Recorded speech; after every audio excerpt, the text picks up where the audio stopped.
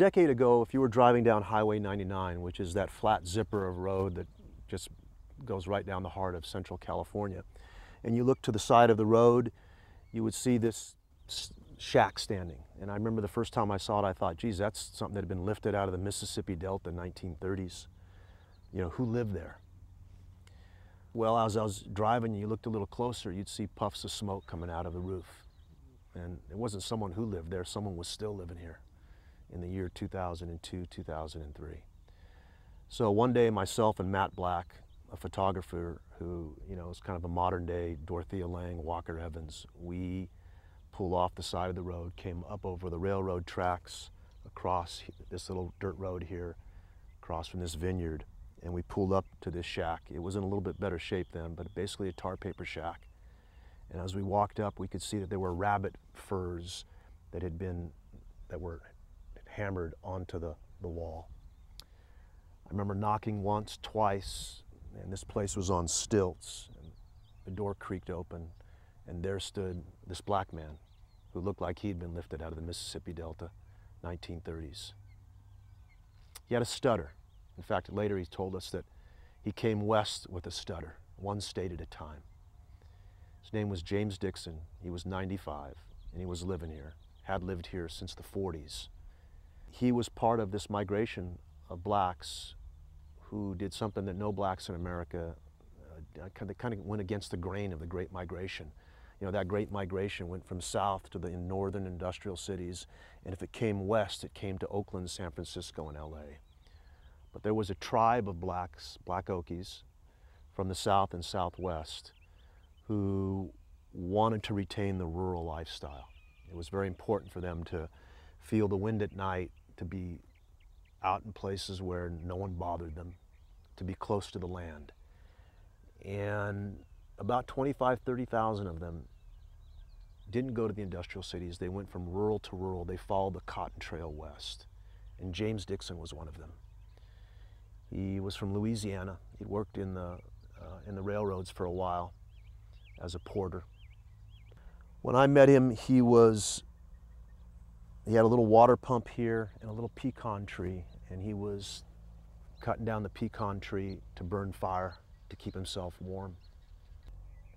He was five foot five, sleeping on a little iron crate. The iron crate was too small for him, so he had a, a wooden beekeeper's box for his head. Um, there were, I, I remember looking inside, and there were Vienna sausage cans empty ones that he was that he had put in the crevices to keep the place from falling. I mean, literally, he was live. You know, chickens have a better roost than than he did, and this is where he was living. He'd come, and I, you know, we found him a half a century later, and he was nervous. He thought we were government workers here to maybe inspect the house, shut it down, whatever. I told him no, we we're here to tell his story. We're standing in the old Tulare Lake Basin. That was uh, the biggest body of fresh water west of the Mississippi. 800 square miles of lake right here in the middle of California. And these cotton growers from the south, they were chased out by the boll weevil, came west. And uh, they claimed this land, this, this, this uh, lake land, and they took the rivers and dammed them and shunted that flow to places where they wanted to grow cotton. And at some point, they had to go by, back and find labor. And a number of folks came through the Tulare Lake Basin and their narratives played out here. White Okies, Latinos, and then Black Okies. No one had ever written about Black Okies. They came in the 40s when the cotton picker was just starting in the fields. It was clunky and big and it couldn't, it could take the middle swath of the fields in the 40s and 50s, but it could not pick the edge of the rows. And so the Black Okies were literally in fields working alongside the machine that would eventually idle them, picking the edges of the cotton.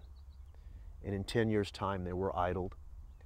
The women ended up becoming maids and housekeepers for wealthy white farmers, much like the South. Um, and the men, uh, where they could, found work. but many of them were idled, and the children left this place. So when we came upon it, it was mostly old folks. Um, when I wrote my last book, West of the West, I came back to find them because I wanted to open up that book with the Black Okies. And every place that I'd gone to a decade earlier, it was empty. They had died, and in some cases, the places were still standing like this place. There's that yellow house just two fields away. This is where we found Minnie Patterson. She'd come in the 19, 1945 46. She was dying. They'd set up a room for her in the front where she could see this grapevine that her husband had planted when they arrived here in California. She said that she'd come to this patch of browns surrounded by a sea of white cotton in the fall of 1945. She decided that first night she wouldn't be staying. What kind of land have you brought me to? She asked her husband. Driving three miles to fetch water, reading scripture by kerosene lamp. You might as well have kept me hitched to the plantations of East Texas. She wanted a home, nothing fancy in the civilized city. Tract house up the road in Fresno or Bakersfield would do. But Willie Patterson, her husband, kept pounding nails and boards onto that crooked hut in the middle of horn toad country. And the black people kept trickling in from Oklahoma and Arkansas and Texas and Louisiana. They'd come looking for a place where the cotton grew a little taller, and the white folks had been raised up a little nicer. They found the taller cotton. I'm not sure they found the white folks any nicer. The Black Okies thought coming west that they would leave behind the racism. The sun did shine a little bit more benignly on them here, but I remember a number of them telling me that it was even um, a more cruel kind of racism a smile on the face, but a dagger behind the back is how they described California. They um, were not allowed to live in any of the cities, not even the small towns. They were locked out. And so the only land that was available to them were these patches of alkali land. Literally, when you ride up on the land and you look at it, it looks like it's so salty, it looks as if it's snowed there. And this is the land that was available to them. And they built their little wooden shacks here no water. They had to go into town to fetch the water. Uh, no city sewers. They had outhouses. Uh, no police roamed this area. It was a no man's land. Basically, these glorified kind of squatters' villages. I mean, this is a place that got bypassed by the civil rights movement, by the war on poverty. None of it ever came here. And so, um, you know, it was a, it was a tough life. One of the things Dixon told us before he died, he was stuffing actually cardboard boxes into the plywood of that house to keep it insulated. And he looked up, I remember, and he said, I worked all my days in the cotton field and on the railroad. I wasn't lazy. What happened to my life?